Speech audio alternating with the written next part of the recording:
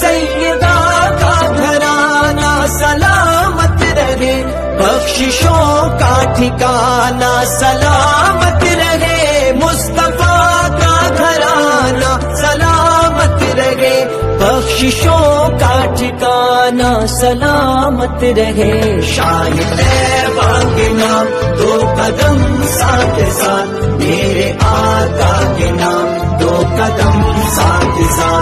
के